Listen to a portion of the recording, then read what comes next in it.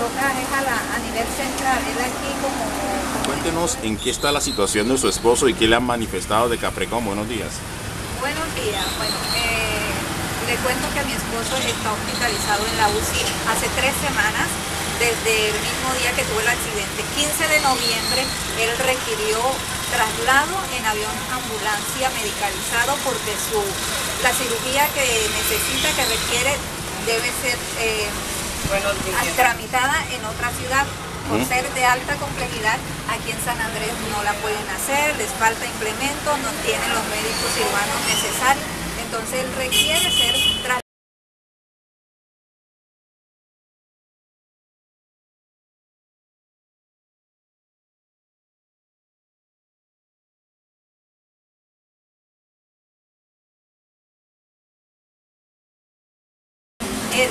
pasa acostado todo el rato, ahora lo, lo que le han salido son las escaras, que eso también es muy riesgoso, donde, donde si Dios lo quiera, él se le infecte una de esas heridas, está corriendo peligro su vida. Claro. Entonces nosotros estamos solicitando y exigiendo el derecho a la salud de mi esposo y el derecho a la vida, porque cada día que está pasando su salud está deteriorando mucho, está deteriorando y ya saben, ellos aquí saben porque diariamente de la UCI pasa un reporte de cómo va evolucionando. Entonces él entró con un diagnóstico y ni Dios lo quiere va a salir con otro. Y nosotros lo que necesitamos y exigimos es que nos atiendan y nos hagan el pronto traslado porque ya a estas alturas, desde el 15 de noviembre, que él fue intervenir, que él fue, que tuvo el accidente, a estas alturas si lo hubieran atendido a tiempo ya él estuviera en recuperación.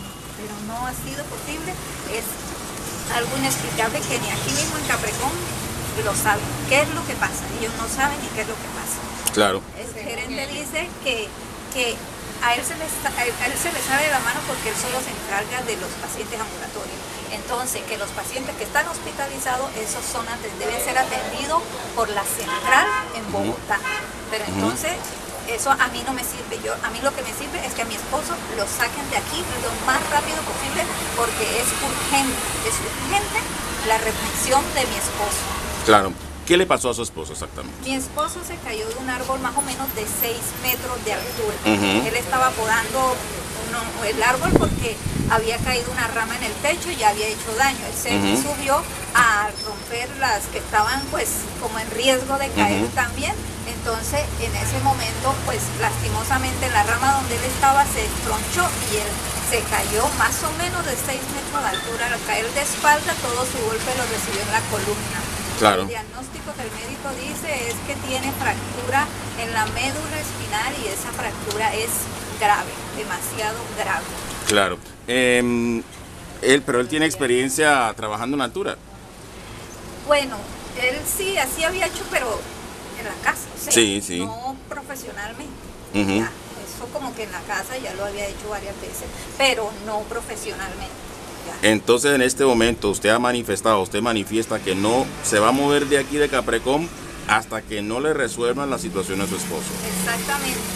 Hoy, este día 3, 4, 4 de diciembre. 4 de diciembre, o sea, a mí me deben resolver la situación de mi esposo. Yo de aquí no voy a ir hasta que a mí no me digan que a él ya le consiguieron cama, porque ya no es, no es justo, o sea, no es justo después de tanto tiempo que mi esposo lleve esperando. Y eso es doloroso para él, muy doloroso. Él, además de que no puede respirar, también tiene problemas de respiración, de que un golpe le afectó el diafragma y él no puede respirar. Entonces, se requiere que sea, de verdad que requiere, que se requiere que sea ya o ya.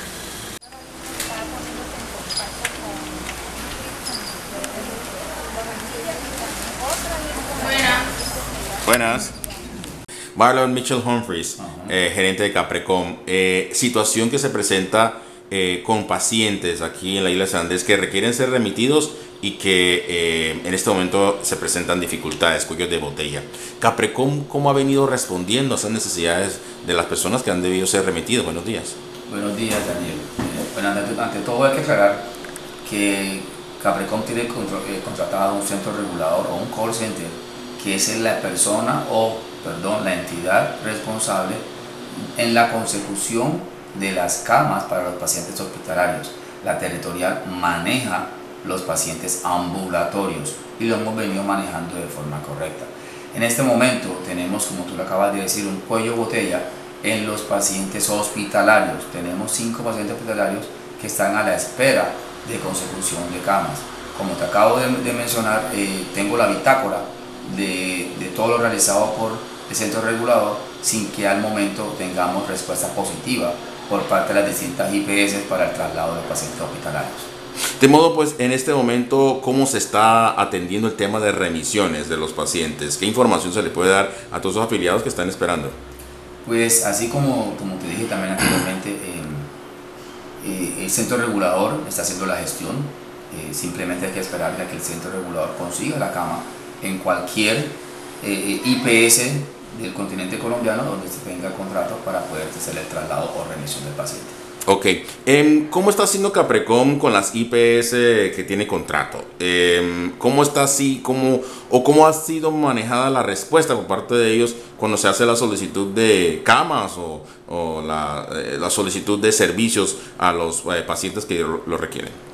Pues Daniel, primero hay que em, ubicar dentro de la red contratada la IPS que tenga el servicio requerido por el paciente Luego de que tengamos eso definido, se solicita eh, la aceptación por parte de la IPS.